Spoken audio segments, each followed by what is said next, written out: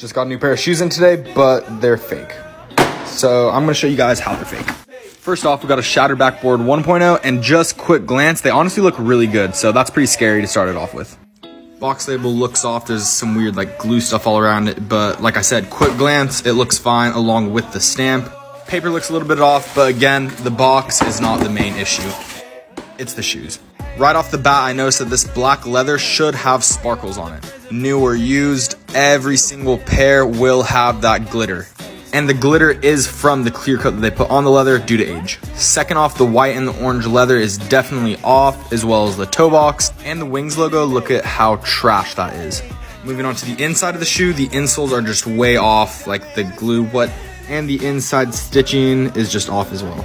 And just for a second opinion, we ran them through CheckCheck and they did not pass as well. So please guys, stop sending us fakes. They won't pass.